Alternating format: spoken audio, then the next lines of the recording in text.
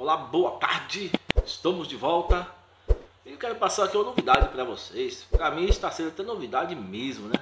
Pessoal, alguns beneficiários já estão conseguindo. Olha só, eu quero até deixar na tela aqui para vocês não dizer que eu estou mentindo, né? Ah, tá aqui. Eu também fiquei assim meio, poxa, como já nem começou os pagamentos do mês de maio e alguns beneficiários já estão conseguindo as informações do mês de junho se está com o benefício liberado ou não.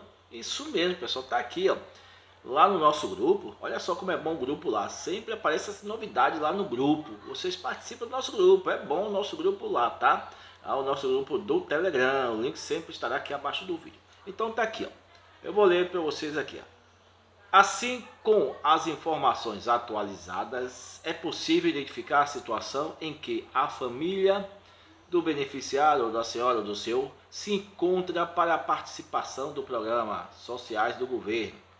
Para receber os comunicados dos programas são utilizados tá, tá, tá, tá, os aplicativos, tudo bem, tá? Informamos que seu benefício está liberado para junho. Isso indica que o benefício está disponível à família poderá sacar a partir do dia 24 de junho de 2024 o valor de 600 reais de acordo com o calendário de pagamento do Bolsa Família. Contudo, né, eles orientam aí que vocês entrem em contato de novo, né? Quando for fechada a folha de pagamento, claro que pode haver algumas mudanças aí, é dificilmente acontecer, mas é a orientação. Como houve, pessoal, extração né, dos dados né, esse final de semana, então, geralmente, quando tem essa extração de dados, certo? É, que foi no dia 11, começou dia 11, né? Que o último dia, olha só, o último dia para que vocês atualizassem os cadastros aí, que vocês que precisavam atualizar, para estar entrando na folha de junho, foi até o dia 10 de maio.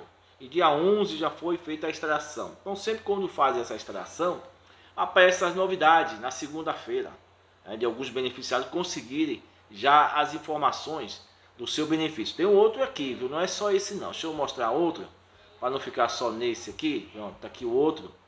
O outro também tá aqui, ó.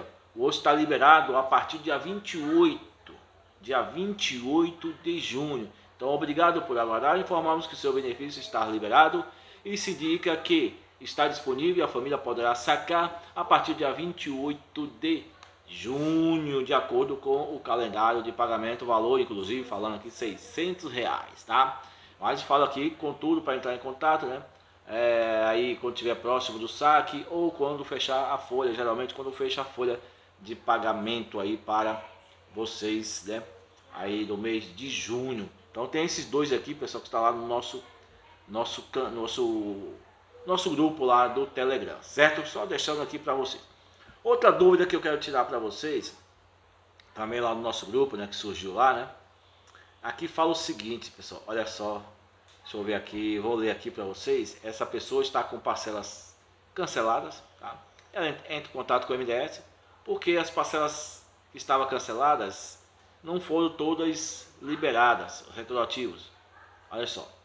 Como houve o cancelamento das parcelas referente a janeiro, fevereiro e março, a família não terá direito ao saque retroativo dessas parcelas.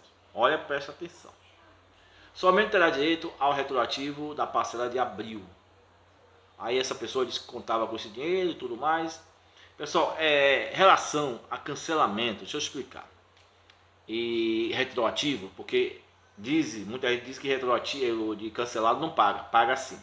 Porém, depende de cada caso. Cada caso é um caso. O retroativo de cancelado só é pago quando o motivo do cancelamento não foi por culpa do beneficiário, certo? Não foi displicência sua. Não foi porque você deixou de atualizar em uma data específica que estava lá para ser atualizado e você não foi atualizar. Então, quando é isso, né? Você deixa de atualizar em uma data, vamos supor que eu tenho Marivaldo, tem que atualizar até dia 13, que é hoje. Eu não vou atualizar até hoje, eu não fui lá, deixei passar, e aí foi cancelado o meu benefício, eu perco essa parcela. Que a desplicência é minha, eu que vacilei, certo? Agora, no caso, pessoal, Por isso que eu digo, no caso da averiguação cadastral, certo? Nesse caso agora da visita mesmo, não é displicência de vocês não. Vocês não conseguiram atualizar na data porque o CRAS não foi lá atualizar. Não é você que dependia né, da sua disponibilidade, não. Você depende da disponibilidade do CRAS.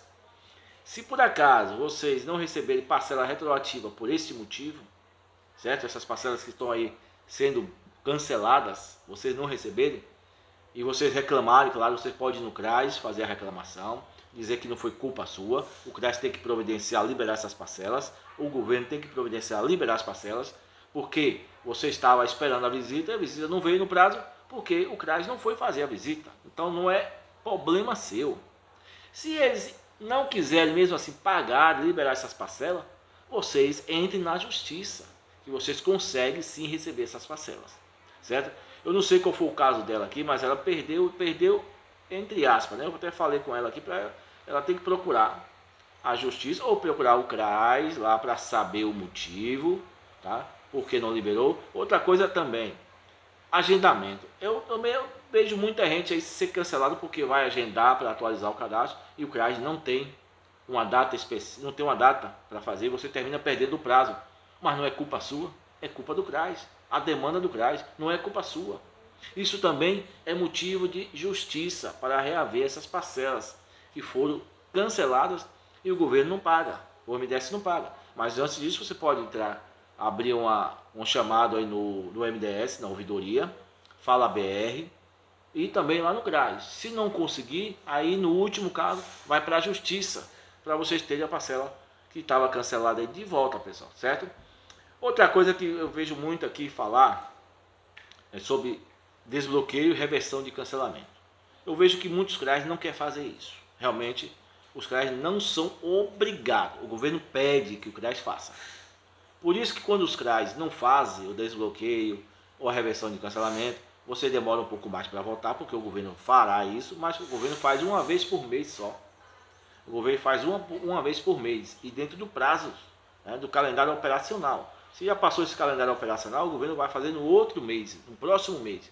E às vezes você demora até dois meses para ser desbloqueado por esse motivo.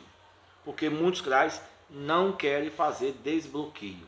Muitos CRAs não querem fazer o desbloqueio. Não é porque eles não podem fazer, não. É porque eles não querem fazer o desbloqueio mesmo. Diz que é para evitar problema, porque às vezes eles fazem o desbloqueio, aí por algum motivo lá deu errado, o, o governo bloqueia de novo. Então eles preferem ou deixar para o governo fazer o desbloqueio, ou deixar para fazer esse desbloqueio depois da extração de dados, depois que é feita a extração, que é confirmado tudo e que não tem nenhuma pendência desse beneficiário, o CRAS vai lá e faz o desbloqueio. A mesma coisa é a reversão do cancelamento. Muitos CRAs não querem fazer a reversão e o problema é que se o CRAS não fizer a reversão do cancelamento do beneficiário que foi cancelado em um prazo de até seis meses, porque até seis meses o governo não mexe.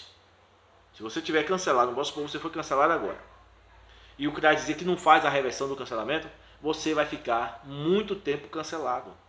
Porque é o CRAS faz a reversão. Até seis meses quem faz é o CRAS. O governo não faz a reversão. A não ser, nesse caso agora, dessa visita, né? Da visita, eu creio que o governo fará essa reversão, se o CRAS não fizer. Mas outro tipo de cancelamento é o CRAS tem que fazer em um prazo de até 180 dias. Passando esse prazo de 180 dias, que é seis meses, o CRAS não pode fazer mais nada. Aí sim que é o governo. Só que o governo aí vai fazer quando quiser. Aí pode demorar até anos para ser feita a reversão desse cancelamento. Por isso eu indico sempre aqui, se o benefício for cancelado, vai no CRAS.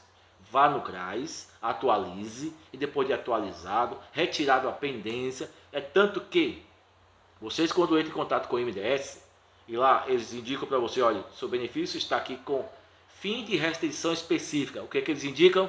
Procure o CRAS do seu município e peça para ser feita a reversão. Porque quando está lá fim de restrição específica, é para o CRAS fazer a reversão do cancelamento. E não vai dar nenhum problema para o CRAS, porque já foi tirada a pendência.